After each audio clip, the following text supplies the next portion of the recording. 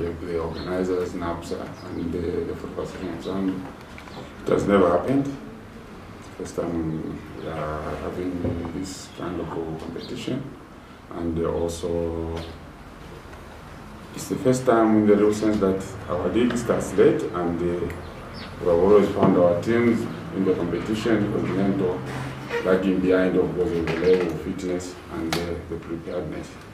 So this tournament brings a lot to, to our brothers who are competing in the in the tournament.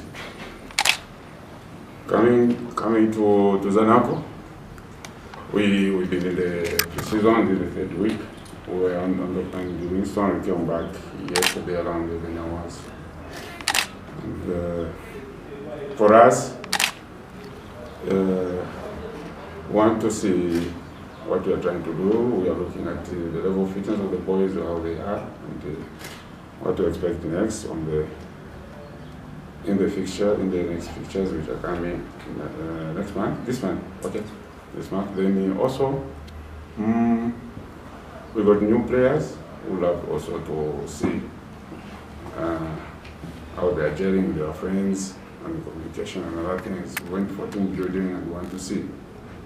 We haven't done much on work, but uh, there's something we need to see on the pitch, which is the coordination.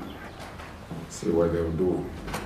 Within themselves, will take charge, of course, and see what happens. I would love to correct the impression of people. There's so much misunderstanding about football. What it is is Zanaco, they were playing football. Yeah. A very good side, we were assembled team.